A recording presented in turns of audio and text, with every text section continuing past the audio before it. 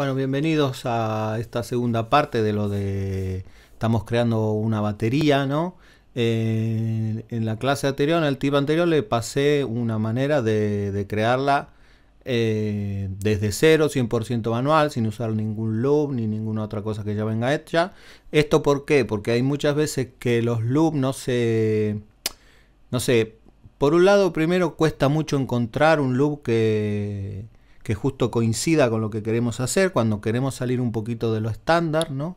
de una batería estándar o de rock o de funk, con un vienen cosas muy estándar, queremos hacer algo más personal, nos cuesta mucho encontrarlo, ¿no? Bueno, al menos a mí. Entonces siempre termino haciéndolo yo. Y, eh, y también a veces partir de un ritmo que ya está hecho, eh, también es un rollo, ¿no? Porque el ritmo ya está hecho y tenés que estar cambiando todo el rato cosas, ¿no? A veces es más fácil por crear uno desde cero, ¿no? Entonces yo lo hago así. ¿Por qué lo hago así? Porque eh, a, la, hora de, verlo y, estar un poco diseñándolo, me es más fácil verlo así que hacerlo todo en una pista sola y tocarlo todo al mismo tiempo, ¿no? Eh, es una manera, no es la única, ¿no? Hay miles y es la forma que lo hago yo, una de las formas que lo hago yo. Entonces hoy lo que vamos a hacer es vamos a pasar este, este loop, que ahora es otro porque hice otro para, para este ejemplo que lo vamos a escuchar.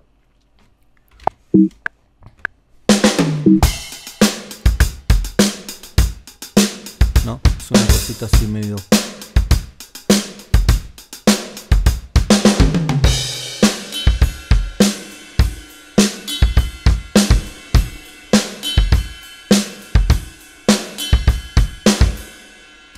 Bueno, y lo tenemos. Eh, entonces, lo que vamos a hacer ahora es, una vez que lo tenemos así, lo vamos a pasar a audio. Así que quédate a ver el vídeo. Bueno, eh, lo primero que tenemos que hacer, donde tenemos el canal de la batería, el track de la batería, que está el instrumento, que fue el primero que abrimos, eh, le tenemos que decir que, que queremos exportar la batería, ¿sí? de alguna manera, a, canales de audio, pero eh, por cuerpos independientes, no que nos exporte solamente un canal con toda la batería entera, ¿no? que de, de esos, eh, lo normal sería exportar la batería cada como, como si la estuviésemos grabando de verdad, ¿no? Entonces abrimos el, el plugin y sobre aquí le damos botón derecho y aquí dice crear 16 canales o crear un ruteo de salida multicanal, ¿no? Entonces yo lo que hago es darle aquí y me va a crear un canal, ¿ves? Por cada cuerpo que tenga eh, la batería, ¿no?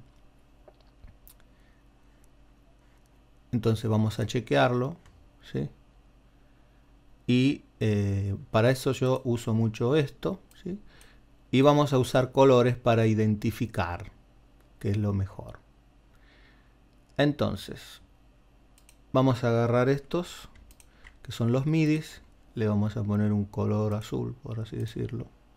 Vamos a agarrar estos, que son los de la batería. Le vamos a poner un color celestito por así. Vamos a agarrar este que es el instrumento le vamos a poner un color rojo. Y el máster lo vamos a dejar así bueno entonces como ven tenemos todos los cuerpos de la batería por separado ¿sí? y aquí tenemos la batería MIDI la información que, que está mandando el plugin ¿no? entonces lo tenemos todo ordenado ¿sí?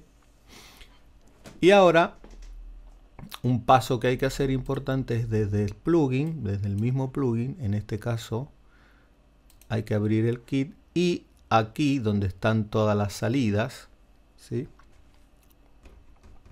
tenemos que ir a esta flechita de abajo y decirle que queremos que nos mande la salida esa al out, ¿no?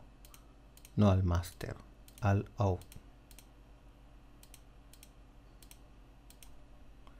una y cada una de ellas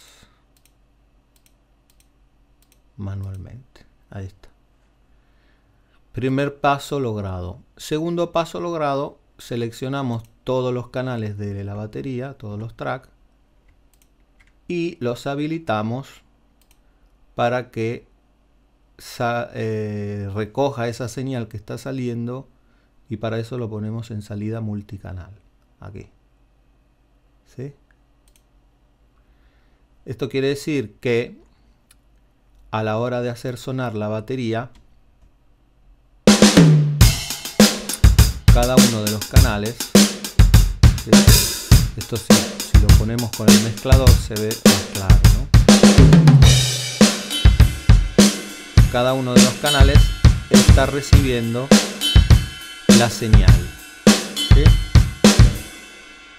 Aquí está saturando, pero bueno.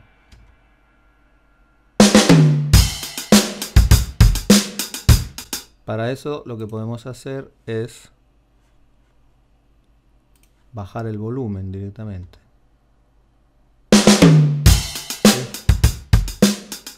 Tenemos una señal un poco más saludable para que no esté picando todo el rato, ¿sí? Bueno, entonces ahora con todo seleccionado habilitamos la grabación, ¿sí? Y le vamos a dar al rec.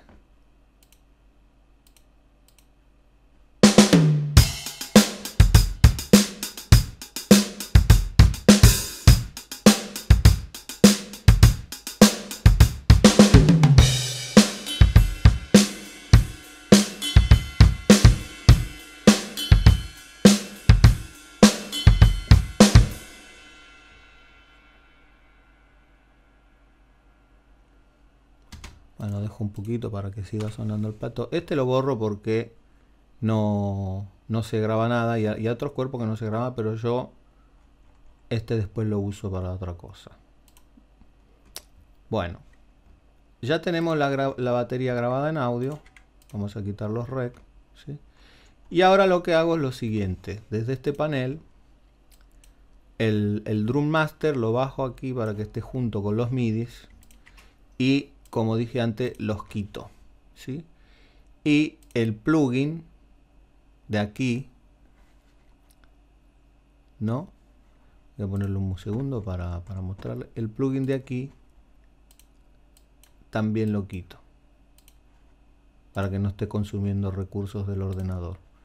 Y lo vuelvo a quitar y lo guardo.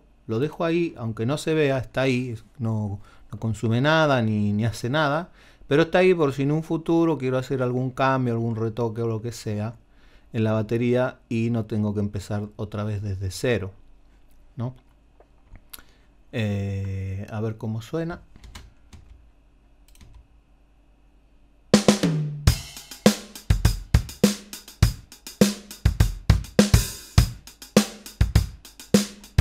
Tenemos todo por separado.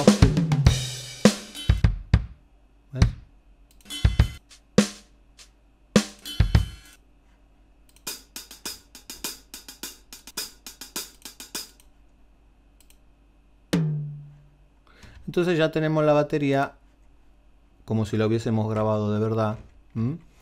Y eh, podemos empezar a procesar los, sonidos por, separado, como se hace con una batería normal, y sacar el sonido más o menos que estamos buscando. Esta es la manera que lo hago yo. Eh, y la verdad que funciona muy bien. Así que nada, espero que les guste este tip y eh, nos vemos la próxima clase. Saludos.